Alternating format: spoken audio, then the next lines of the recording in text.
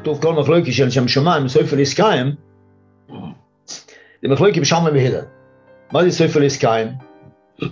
כי הסוף יהיה ששניהם נכונים.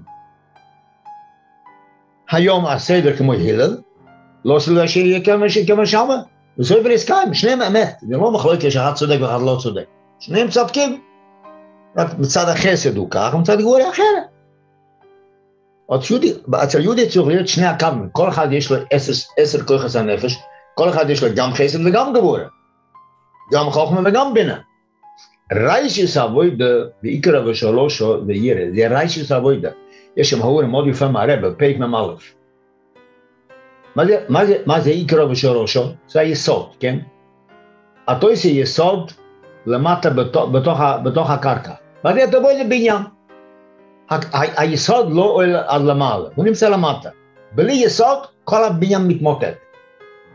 צריך יסוד, אבל איפה היסוד? היסוד נמצא למטה. נגמר היסוד, עכשיו בואי בניין. על מה עומד הבניין? על היסוד. אז היסוד משפיע על כל הבניין. ברגע שאתה מתחיל לו לזוז את היסוד, אז גם הקוים העשרים גם זה יתמוטט. כי היסוד משפיע על כל הבניין. השורשים של העץ הם ניסים באדמה, אבל זה עומד כל העץ. ברגע שאתה משהו תחתוך אחד מהשורשים, אפילו על חלק אחד, זה מתפשט, יש הרבה בשורשים, אתה חותך אחד אחד, זה מיד יהיה שינוי על האילן.